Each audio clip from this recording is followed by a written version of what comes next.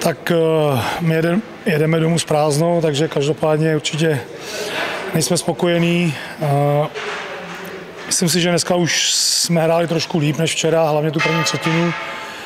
Bohužel zase stejná písnička, oslabení přes silovky prostě nám nefungují a, a díky tomu eh, vlastně soupeř nás dneska zase porazil.